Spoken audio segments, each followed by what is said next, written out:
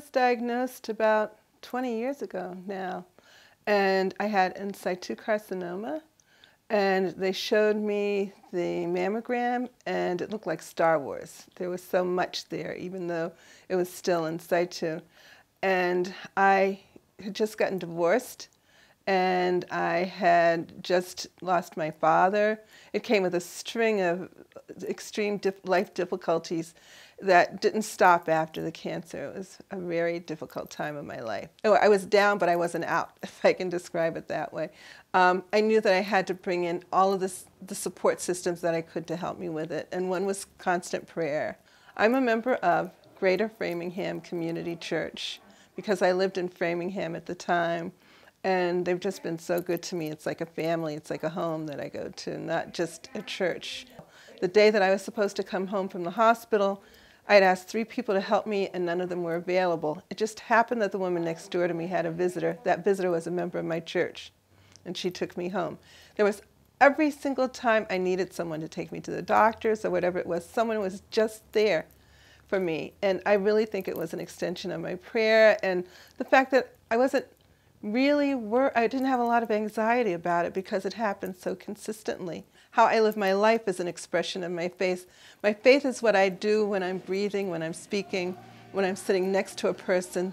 When you think about the fact that I had had this cancer and my husband left and my children were now no longer under my roof, I had empty nest. I had empty, it seemed like I had empty everything because I, there was so much uh, of a void there. And I'm an incredibly loving person and I love doing things for others.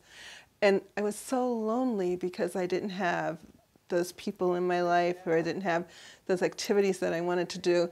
And I just didn't know what to do with myself. And I just, the loneliness was just an agony that I couldn't, I, I just had no concept and no, no way to relate to it. And it came to me that there were people who were lonelier than I was. And those are the people who needed me.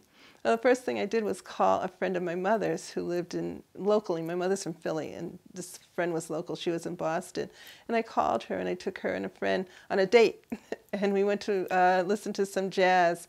And I bought them flowers, and I drove them there, and I treated them to a meal, just like you would do a date if you were dating someone. And then I started meeting these women in a bookstore, and they were all 20 years older than I was, and they were all very lonely. And because I met those women, my future husband just happened to be in that bookstore at that time and he saw me and he was instantly attracted to me because of what I was giving to the people I was with. I'm working with the North Central Massachusetts Faith-Based Community Coalition.